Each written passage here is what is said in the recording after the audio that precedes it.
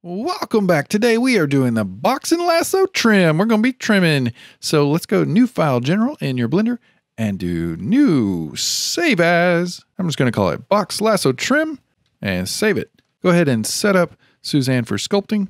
Even though we're not really going to be sculpting, we're just going to be using some of the tools here, but let's pretend we are. So multi-resolution, subdivide to five, four or five, maybe even three if you have a slow computer, and we'll do control tab down. Now we're in sculpt mode, and like I said, we're not using the brushes today. We're going to keep on going to this next section and do box trim. So notice this has a little triangle there too, so you can hold that and do box trim and lasso trim. So similar thing, different execution. So box trim we'll do first. When you first use the box trim, it's supposed to essentially like cut out or cut off the mesh when you let go, but notice nothing happens. But it doesn't actually work with the multi-res turned on. So to affect this, you have to turn off the effect, uh, really just the little screen here. And this is a very destructive tool. So I, I wouldn't really recommend using it unless you really just have a certain reason for it, or maybe it's one of your very, very, very, very last steps, if ever.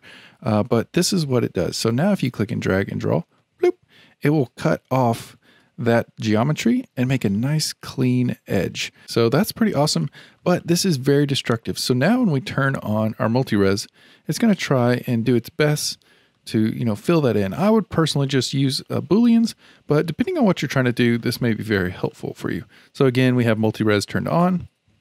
I'm going to go ahead and save and then just click and drag down and see nothing happens. But if we turn that off, go into our base mesh and click and drag the ear. Now we've got something here. We've got a nice clean cut on the ear.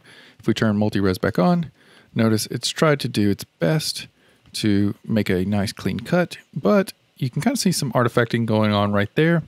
If we go into our wireframe, notice we've got some weird uh, kind of artifacting happening, which may not be good for our slicer. So if you see stuff like this with everything kind of crunched in on itself, you may want to try and, uh, you know, take a brush and just smooth it on out because that is not going to be good when you get to slicing.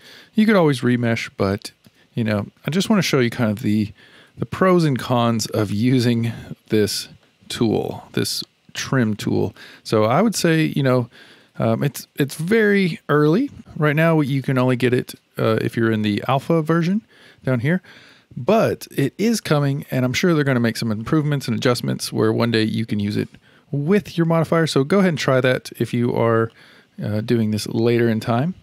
But that is the box trim. So let's turn our multi-res back off, go ahead and save, and let's flip over into the lasso trim. So it's going to be very similar to the other one, uh, the box trim, but you're going to be able to be a little bit more free in the way you select things. So notice we've got a nice chunk taken out. So say if we wanted to make it look like, you know, her ear got ripped or, you know, piercing got ripped out or something crazy, then that would definitely be one way to do it. Turn our multi-res back on, and notice we've got, again, some weird artifacting going on up here. We'll turn our wireframes off. You can see Blender didn't really know what to do with it. Um, this tool is still in early early stages, but I just want to show you that uh, you know they're working on something like this, which would be incredible if you could use it with your modifiers, you know, and just start subtracting things really easily. So definitely a tool to look out for in the future. And again, like I said, this is probably going to get updated way more uh, over the next few months. So yeah, that is the box trim and the lasso trim uh, tool. And let's go ahead and jump into the next brush or tool, the line project.